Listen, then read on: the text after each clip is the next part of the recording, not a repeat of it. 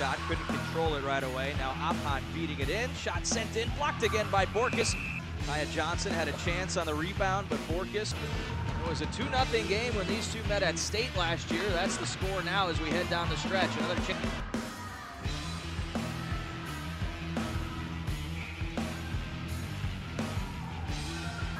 Another push here from the Eagles. Opheim feed in for Morris.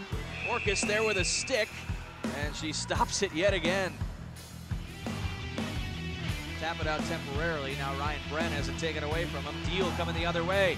Mason Deal on a breakout. 1-0 Minot. Turnover at the blue line is going to cost you all day long. As they begin their second game in as many days. I mean, let's not kid ourselves. Dickinson is a very well-coached team, and holy smokes. Make it 2-0 on the rebound. Aiden Morelli. I was just about to say how they were they'd be able to battle back from that, but the game, Charbonneau Car Center, where you can expect no gimmicks and no games. Visit them online at charbonneaubpg.com, and it does not take the midgets long to put it in. Three goals already. We're not even five minutes in as Dickinson cuts the lead to two to one. Joseph Pop. Still a lot of good hockey left to come your way on BEK Sports. Nick Murphy into the game for the Magicians, chasing this one down behind the net. First off there by Morgan Wardner, and the Magicians get another. Their third, not quite seven minutes in, and Minot back up by two.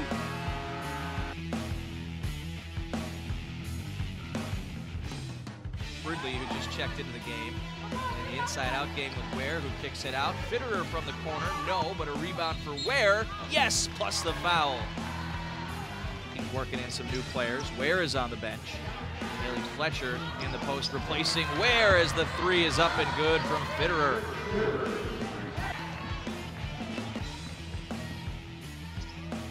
Keplin with the answer, a pull-up three from the UND commit. Work against the 2-3 zone. Kick out. Kinnebrew knocks down the triple. Well, there, rebounded by Mogan, who sends it ahead to Holland. Ashley Holland defended by Rudolph. And Holland gets it to go, plus the foul.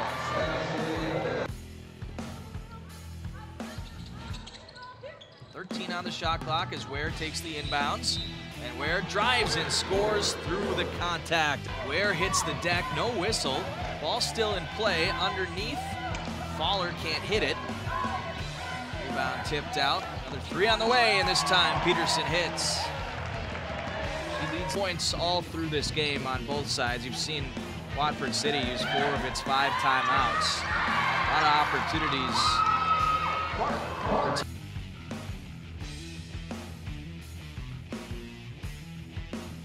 Defense of Reese Johnson. Now Knowles with it into the front court. Long three on the way from Mattern. Count it. City.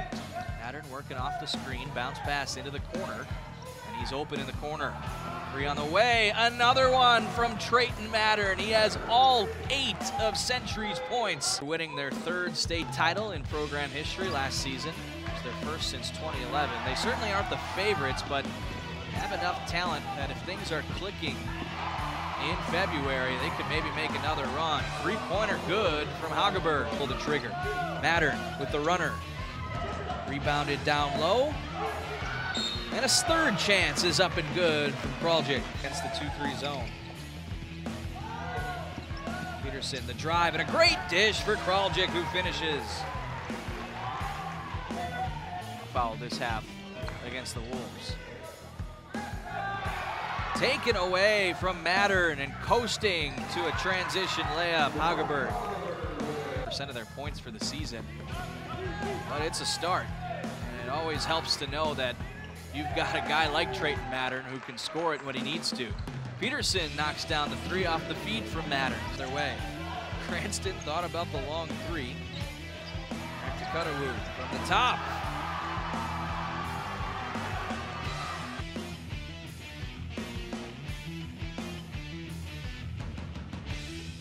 About 13 points per game for the sophomore. Here's a kick out open look for Golis, and she drains the three-pointer. Peterson thought about the deep two. Instead, here's Holen on the drive through some contact and put her at the line. An and one. Off the curl screen, here's Peterson all the way to the rack through some contact, and she's hit by Picard. Zone look again from Watford City. Here's Reichman off the catch and shoot three, and she drills it. We're tied at 19. Lead going into the halftime break. Watford City leads by two. Dickerson on the inside. Nice drop off pass to Golis, and a chance for Bismarck to take the lead. Now you can tell Bismarck is starting to settle in in the half court now. They were thrown off by the change-ups that Watford City was throwing at them, switching from the man to the zone, back to the man. And a second chance. Didn't hit rim, though. Shot clock didn't reset, but Reichman, 4-3 of the game. She's got 19. Reichman with a rare miss in the second half and made three in a row before that, but it's still a trip with points for Bismarck. Golis goes off the glass.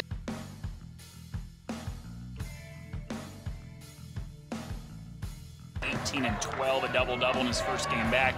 Already four points and a couple rebounds in this first half. Pull up three, trolley from the wing. Who's headed to play at North Dakota State next year. Legacy as well. They're coming off a, a couple of really good games, and there's just not a lot of pace, and they didn't have anything going. They got him the ball in the post. He settled down, took a breath, made a strong move, and finished with two.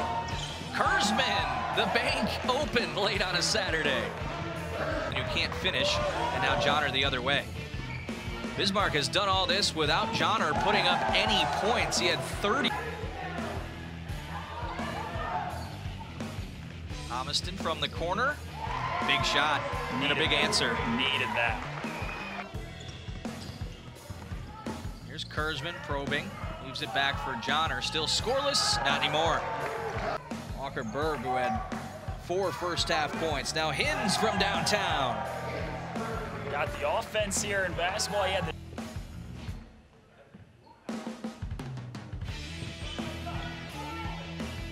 Stonecipher from deep. what can't Rebound ultimately secured by Kallenbach. From the wing here, that's Bowden Skunberg's second make of the day. He's got five, but in search of a big run.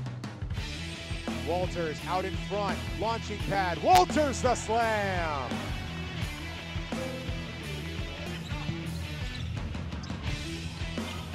Dowdy, good.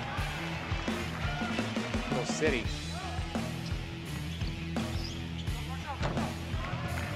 Also played a tight one against the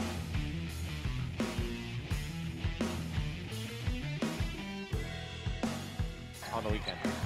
Helvig quickly inside. Horgan had it knocked away right to Falk in the corner, splitting a pair of defenders and knocks down the runner. High degree of difficulty right there. Now for the Blue Jays. Falk. Selvig finally gets her first. Selvig.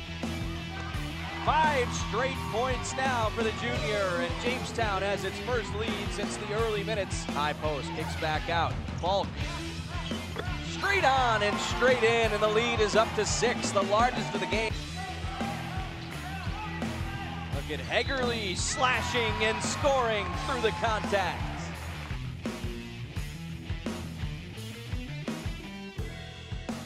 Horgan and Zander go at it, and the opening tip goes to Mandan. Here we go on BEK Sports. Quick trigger finger, that's why. Three, Megan Zander.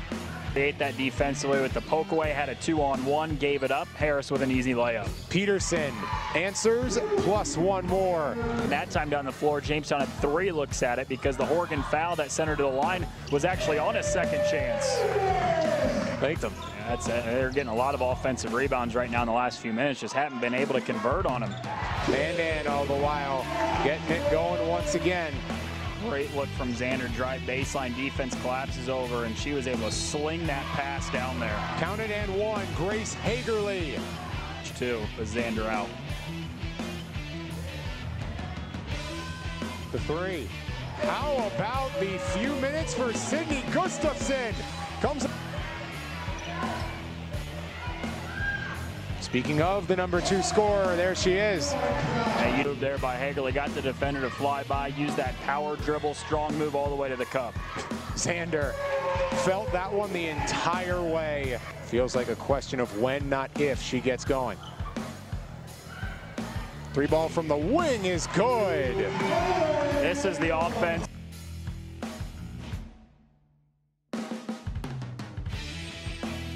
Much better, and it allows you to go to a high, high level program like North Dakota State. And now a dump off to Walters underneath. That's a beauty of a play.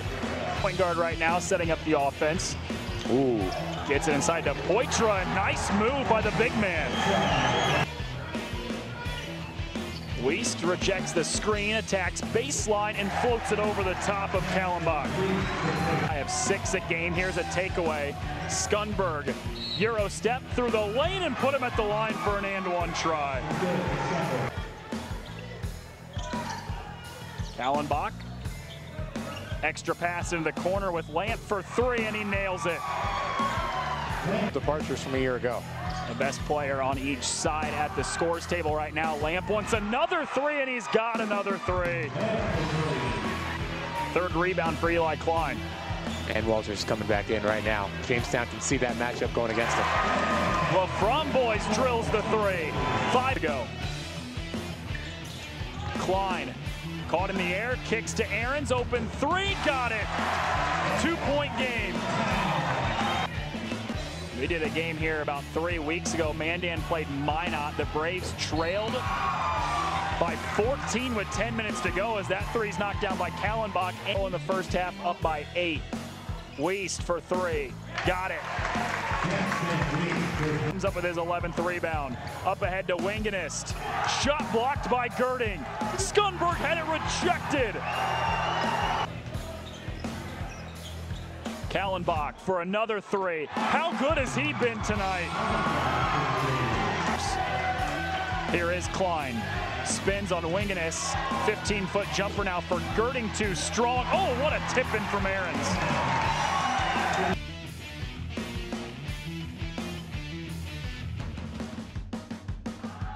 For Minot to try and pull off the upset, and that's how it would have to be characterized. Minot's just got to be.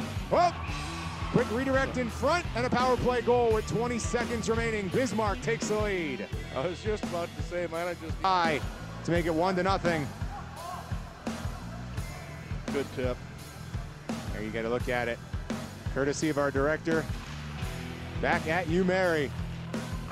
Shoveled up to the left point. D to D we go. Held on to by Deeks. Deeks is shot in. Wow. What a great tip that was. Good shot. The, the whole play, the whole thing developed. He play a little more physical and try to get some of these turnovers like Bismarck High's creating for themselves. Caleb Petrie, his 15th goal of the year. All the while for the Bismarck High Demons, a Oh, goal no. to make it three to nothing. That's. Yeah, that's exactly. A frustrating one for the Braves. They had a tough time getting it out of their own zone, and that's because of that aggressive back check, just constantly forcing turnovers, and now Minot's on the board. Jack Plemmel. Yeah, that was a nice dump in. Good dump and chase. He won the race to the puck. Ackerman Wall. Good. Now here comes Caleb Petrie. Petrie. Good stick check there by Ben. Bone break, but a goal. And another goofy one goes in. And so instead, a chance here for Bismarck High. Played down the left wing, right down Broadway, and a goal! Nick Mortensen for the Demons. Yeah, Nick came in there screaming through the slot. Nobody picked him up. Now, getting their first tally.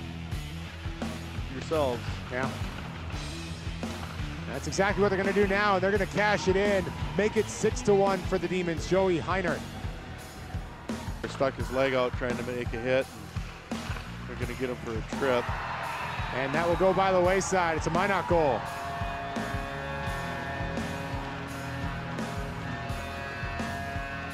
And so, I mean, there you go. Case in point. Minots on the board. Aiden Morelli again. In a row against the Bismarck School of the century outside. Perhaps creating some positive buzz, getting by Ackerman. The pass right across the face, and Morelli puts it home. Bring things off to the right point. Final three here. Cross ice shot in. There's the goal. It's Peyton Fillion. Trying to feed the slot. Morelli was right there. He's got two today. Off to the oh. right, loose in front, a block, and it. goes. Oh my!